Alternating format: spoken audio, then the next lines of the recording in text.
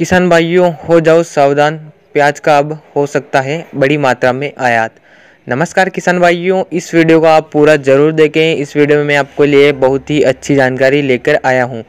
किसान भाइयों, जैसा कि आप सभी को पता होगा कि अभी रोज़ प्रतिदिन प्याज की कीमतें में लगातार तेज़ी देखने को मिल रही है। महाराष्ट्र की सबसे बड़ी मंडी, लालस गाँव मंडी में बहुत ज़्यादा तेज़ी प्याज के भाव में हमें देखने को मिल रही है।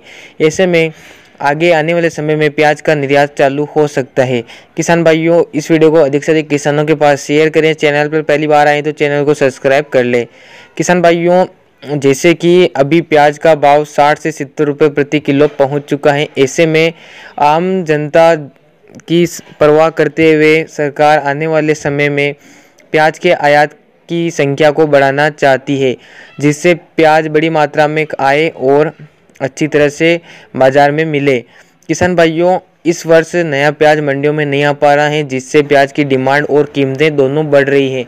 ऐसे में जो प्याज का थोड़ी बहुत मात्रा में आयात हो रहा था, उसको अब आने वाले समय में बढ़ाया जा सकता है।